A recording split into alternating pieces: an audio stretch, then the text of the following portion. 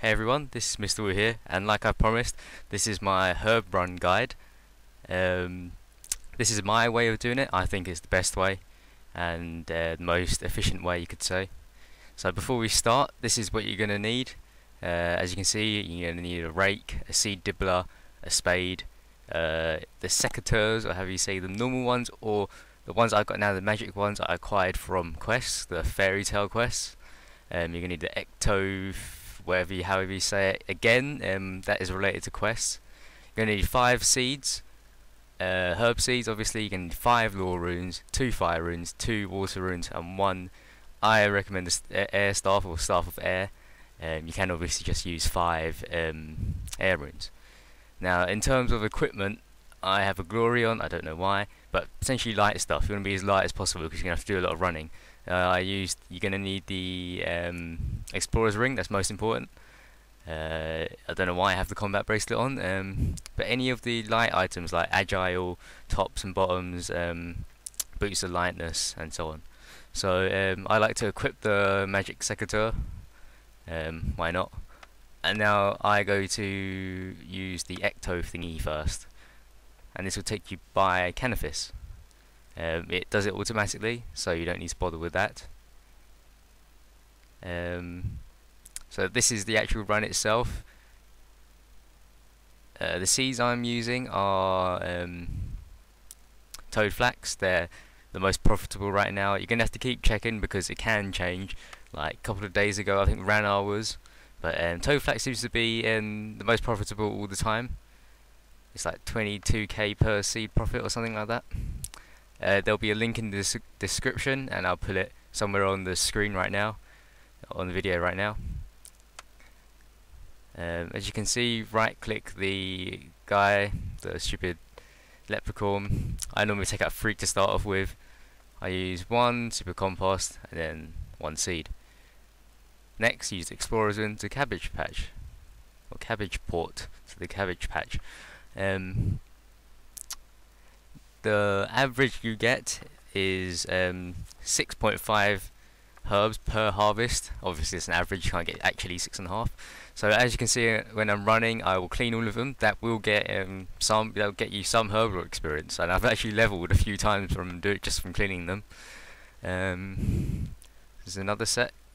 So here you can see I've got six, seven, eight. I've got eight. So you super compost again and then use another set of seeds. Next I go to Troll Helm, Trollheim, Troll Helm, and that again requires another quest. Now this patch that I'm going to now requires the My Big Arms Adventure quest, and that means that you have five herb patches after all. Um, uh, overall, sorry. So I don't clean my herb things now. Climb down this, this first one, then click to the next slope, and then you'll see on the mini map the the green shortcut arrow. Click around right near there. Now I clean all my herbs because if you try to clean them while clicking on one of those shortcuts as I did on the first one, it will interrupt your movement, so you'll stop moving. But if you're just moving without taking any action, but at the end of where you're trying to get to, then it doesn't interrupt, so you can clean them without um, stopping your movement or whatever. So yeah, this one's pretty simple. Um, The magic secateurs, I should have said this before, increase the amount of herbs you get. Um, the Falador Shield 2 also increases the XP and yield at the patch south of Falador. I haven't done that yet, I don't think it's particularly worth it, really. But you can do that if you really want to, some people do.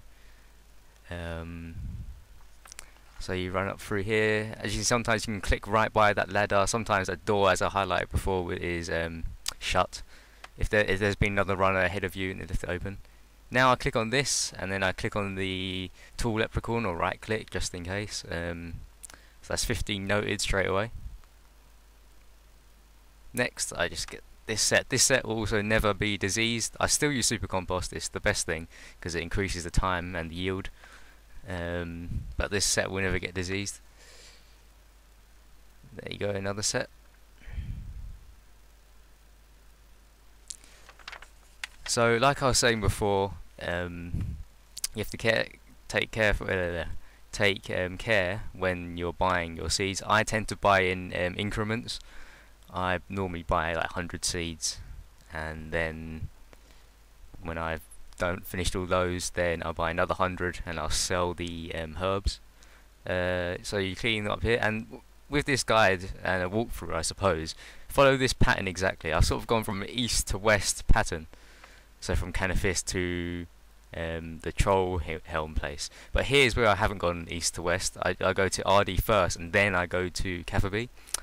Um, you'll see why in a minute. Um, it's up to you again because I prefer the Cafferby one last. Um, you'll see. So again, I've run out of super compost, but as you can see, I've got 245 and 10 buckets. So at the end of this, I will show you how to really, really easily make super compost. I mean, people were asking me before because you know they lost a lot of money how to make it, and um, people were asking me should I use super compost potions or something. I never even heard of them. I had to look it up on Wiki to find out what they're talking about. And I looked it up, and it costs like 4.5k each, and that just turns one set of compost into super compost. Um, why would you do that? Don't don't buy that stuff. Um, in terms of what you can use to make super compost, um, I'll show you how in a minute.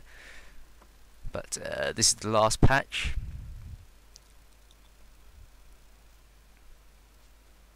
And I, I always click the magic secateurs. You don't need to. It's just I, I prefer them. prefer holding them. So I'm using these herbs on that, so, uh, the tool leprechaun, so I have more space.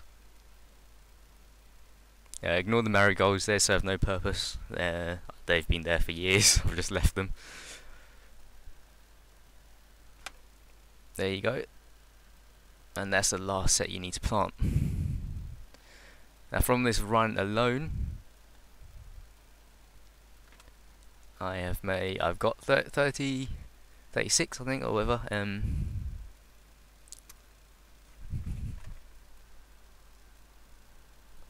or other 38 uh, right so I'm going back to the bank. And for this bit I'm just going to get rid of everything here. I'll try to put it all in one space even the ecto thing. Obviously the air staff goes somewhere else?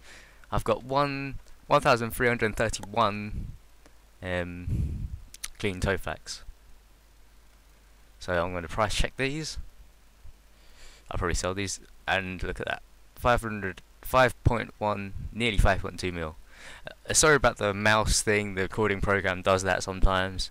It's when I don't position the uh, window for RuneScape properly I believe but uh, it shouldn't, shouldn't be too distracting. So here to get the pineapples withdraw 80 coins. That is all it costs. Talk to Arnhen right there at Cafferby this is why I like finishing at Cafferby you talk to him, then you go to can I buy some pineapples? Click to continue, certainly, type 40 in, that's it, you got 40 noted pineapples. And you can get that again every 24 hours. Which is the easiest way by far to, I remember having to go to um, extraordinary lengths to get pineapples, now you just buy them right there. They got, got 389, you're going to want to withdraw 15 pineapples.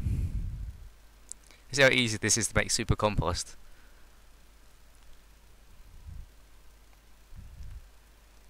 Go to the compost bin, use the pineapple with it,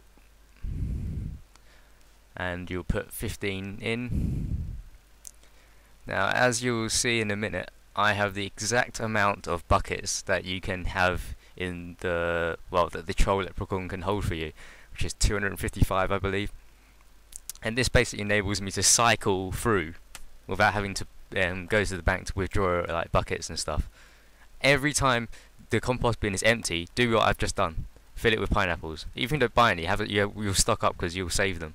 Uh, you only takes 15, but you buy 40 a day. So there you go, 12 buckets and 243.